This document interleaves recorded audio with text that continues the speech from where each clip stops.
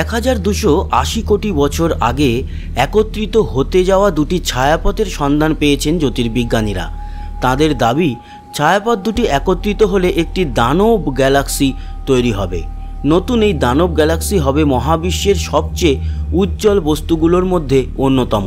প্রাথমিক পর্যায়ে মহাবিশ্বে গ্যালাক্সি ও ব্ল্যাক হোলের প্রাথমিক বিবর্তন কেমন হয়েছিল তা বোঝার জন্য এই ঘটনা বেশ গুরুত্বপূর্ণ বলে জানিয়েছেন তারা। সুবারু টেলিস্কোপ দিয়ে জাপানের এহিম বিশ্ববিদ্যালয়ের ইয়োসিকি মাতসুয়াকা এই ছায়াপথ দুটি আবিষ্কার করেন। এরপর আটাকামা লার্জ মিলিমিটার বা sub millimetre array radio telescope ব্যবহার করে নতুন ছায়াপথগুলোর তথ্য বিশ্লেষণ করেছেন জ্যোতির্বিজ্ঞানীরা। টেলিস্কোপের তথ্যের মাধ্যমে কোয়াসার সম্পর্কে জানার চেষ্টা করেছেন তারা। কোয়াসার হলো উজ্জ্বল ধরনের মহাজাগতিক বস্তু, যা প্রারম্ভিক মহাবিশ্বে গ্যালাক্সির কেন্দ্রে সুপারম্যাসিভ ব্ল্যাক হোলে পড়া পদার্থ দিয়ে চালিত। তত্ত্ব অনুসারে, যখন দুটি গ্যাস সমৃদ্ধ ছায়াপথ একত্রিত হয়, তখন তৈরি হয় একক বৃহত্তর ছায়াপথ।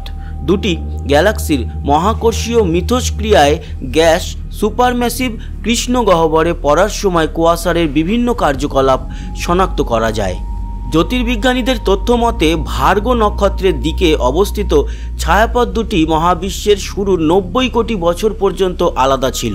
বর্তমানে ছায়াপথ দুটির উজ্জ্বলতা বেশ ম্লান হয়ে গেছে, যা ইঙ্গিত করে কোয়াসার এখনও তাদের বিবর্তনে প্রাথমিক পর্যায়ে রয়েছে। রেডিও টেলিস্কোপের তথ্য পর্যবেক্ষণ করে বোঝা যাচ্ছে, কুয়াশারের হোস্ট গ্যালাক্সি গ্যাস ও ধূলিকণার একটি সেতু দ্বারা সংযুক্ত। এতে ইঙ্গিত মিলছে যে দুটি ছায়াপথ বাস্তবে একত্রিত হচ্ছে। টেলিস্কোপে দুটি ছায়াপথে গ্যাস দেখা যাচ্ছে।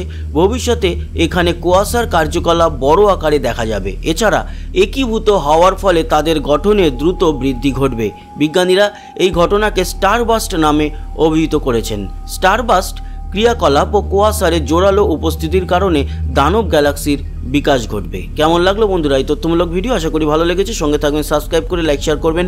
কমেন্ট বক্সে আপনার গুরুত্বপূর্ণ মতামত জানাবেন। আসি, আবার দেখা হবে। সবাই ভালো থাকবেন, সুস্থ থাকবেন। টাটা।